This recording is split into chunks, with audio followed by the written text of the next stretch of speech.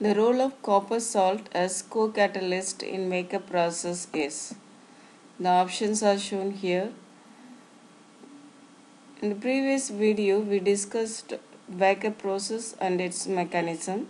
In Wacker process, ethylene is oxidized in the presence of palladium chloride gives acetaldehyde.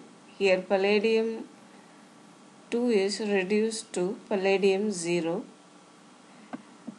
This palladium 0 will be oxidized by cupric chloride gives palladium chloride. In cupric chloride, copper is in plus 2 oxidation state. This is cuprous chloride. Here, this uh, in cuprous chloride, copper will be in plus 1 oxidation state. This cuprous chloride oxidized into cupric chloride. To get the net equation, balance these three equation. So cancel palladium chloride, palladium 0, cupric chloride,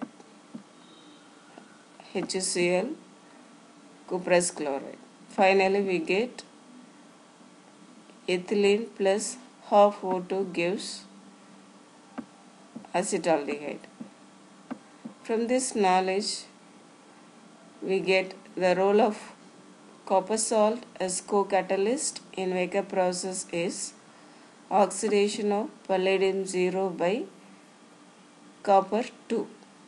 So the correct option is first one. Thank you.